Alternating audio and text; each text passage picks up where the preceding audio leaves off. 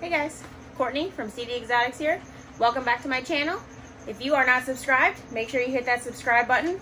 trying to get a thousand subscribers. Um, we are at 672 right now. So make sure you hit that subscribe button if you are not already subscribed. Today I'm going to talk about um, defensive or aggressive hatchlings. I've had a couple people ask how you handle them, um, you know, especially uh, pet people.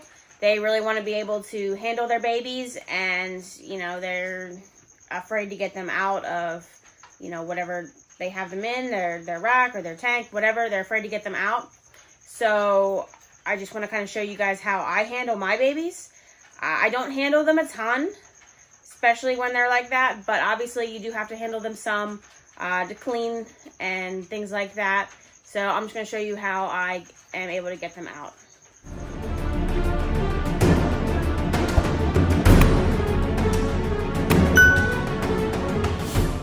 I should have probably, I know some of my babies are starting to settle down now a little bit, but I, I should have at least one that should give us a little bit of a show. But I just wanted to kind of say that if you don't have a hook, you should probably get one. Um, this one is from Reptile Basics and it kind of pulls open. Just makes it easy to store. Um, I mean, it's not, you're not going to handle any huge snake with this one, but this is perfect for babies. And I do use it for some of my bigger females.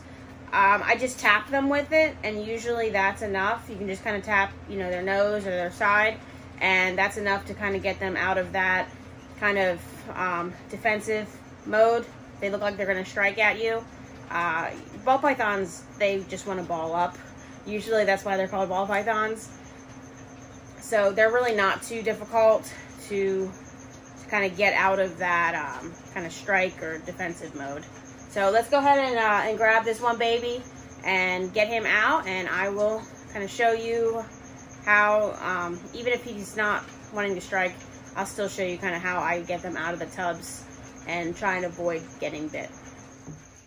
All right, so here we have one of my babies that typically wants to eat me. You can already kind of see him See him kind of lining up a little bit. He's looking like he wants to strike at my hand. I see him there. So if I was to reach in, I don't, I don't want to go too far because he is going to bite me. If I was to reach right in and try and grab him from the front, like this, he is going to tag me. 100%, he's already looking. Okay? So, said you can kind of see him. He's tracking my hand. He is going to get me. So, and a lot of people, especially first ball pythons, when they start doing this, they get really worried. They say, oh no, my snake's gonna bite me, it's gonna hurt so bad. Honestly, it doesn't hurt. Uh, I just try not to get bit. Um, but if you've ever tested your like your blood sugar or something, like if you're a diabetic, it's I think that honestly hurts worse than when them biting you. So if you have one like this, I usually just go straight with the hook with this guy because I know I'm not going to be able to get behind him. He's still going to try and tag me. But if you have one that's not quite as hardcore as this one, usually what you can do is you can go in from the back. See, he's really looking. And you can kind of get him from the back. He's, he wants to bite me. So I did. I was able to get him from the back. But that's kind of what you want to do. You want to go in from the back. He's still going to try and bite me. Um, we'll put them back. We'll see if we can try again. You can also kind of cover their head. I wasn't trying to do that with this guy because I've tried to do that and he still manages to attack me. Which is why I typically just go for the hook with this guy. But that's what you want to do. Like I said, if you go straight in from the front, you can see him. He's he's definitely tracking me. He is going to strike at me. And I'm trying not to get bit here. But yeah, so then, and see, look, he's already tracking around, coming around this side, so I can't even easily get around behind him. He wants to eat my face. So, if you have one like this, it's not a big deal. They will outgrow it. Okay, I had a I had a female that I kept from last year, and she did this every single time. She'd come flying out of the tub at me, and it was see, look at him. He he wants to strike the hook. This dude is just hardcore. Most of my other babies just ball up. That's what ball pythons typically do. See, I'm just kind of tapping him with the hook. Oh, there he goes. and see, I can just pick him up. He's so small that this hook is not, nothing's hurting him. Um, and I can just set him down. I can clean his tub, do whatever it is I need to do. He's gonna try to get me again. This one cracks me up. He's just so little and he thinks he's huge. And so that's all you do. You use the hook. You can also kind of tap them, right? See, I barely, I barely even touched him. It was like just the tiniest little tap, but it was enough to kind of uh, put him, you know, on the, I don't want to say defense because he's already very defensive, but kind of uh, get him back. And that's what I'll do if I have like a big female that's trying to come out at me. When you use your hook, you do want to kind of, you don't want to get them too close to the back end or too close to the front end.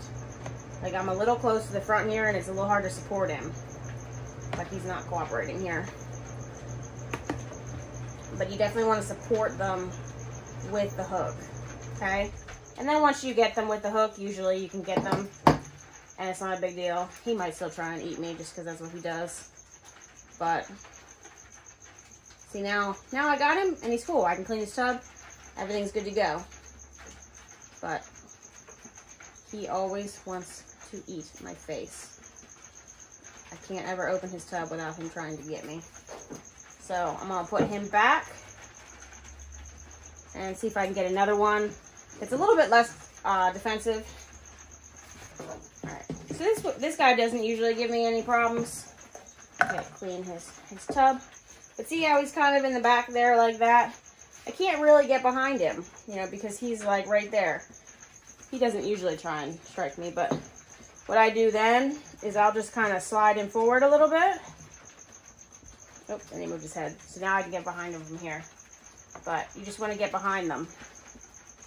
If you go right at their face, I mean, if you've got one that likes to try and tag people, it's going to tag you. If you go from behind, usually they will not. You can also try and just cover their head and see how he's just balling up That's what they do. It's like he's going in the shed here soon.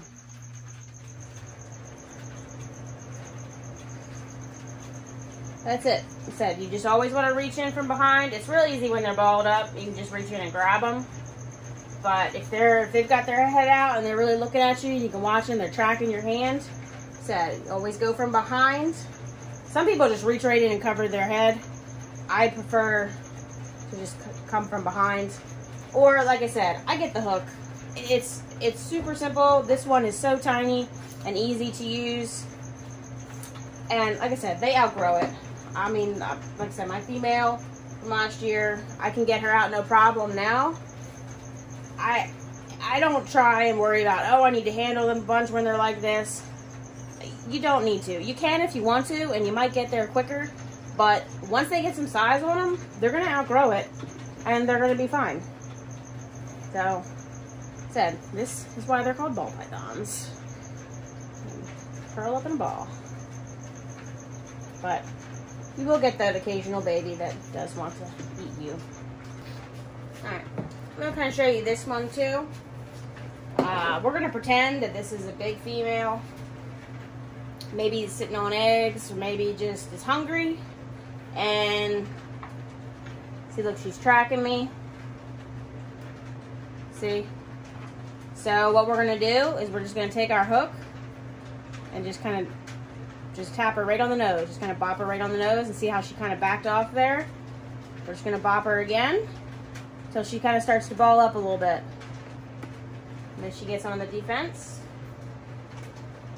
Starts, and there you go. And you can pick her up. It's the same concept with the big ones as it is with the small ones. Usually, bigger ones you don't have an issue unless they're really, really hungry or they are um, on eggs.